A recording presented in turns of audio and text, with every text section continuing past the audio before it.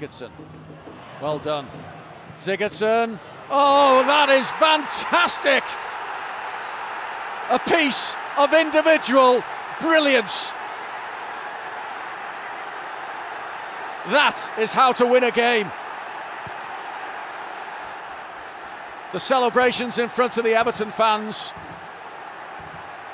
And Gylfi Sigurdsson is a man in form. Two last week against Fulham.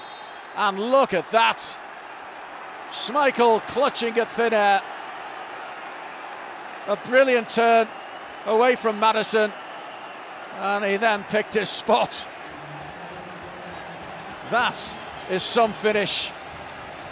A Sigurdsson sizzler